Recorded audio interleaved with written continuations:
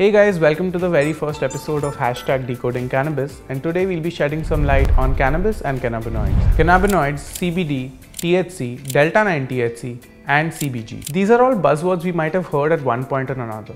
Out of all 113 cannabinoids, THC and CBD are the ones that we confuse the most. So what is CBD? CBD or cannabidiol is one of the 85 active cannabinoids. It is an extremely promising active cannabinoid from an analgesic, muscle relaxant, anxiolytic, anti-inflammatory and antioxidant perspective and has been used in medicine for over 12,000 years now. Simply put, CBD is known world over for its effectiveness in treating ailments such as insomnia to anxiety and even alcohol and opiate addiction without the euphoria or the high. Tetrahydrocannabinol or THC is the euphoria-inducing cannabinoid which stimulates dopamine and serotonin.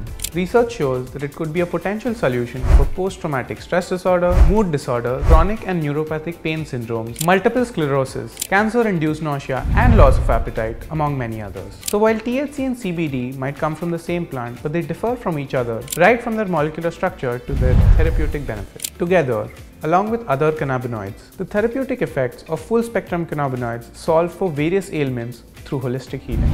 Wish to learn more about it? Let us know in the comments below and follow BOHECO for more interesting stuff around cannabis.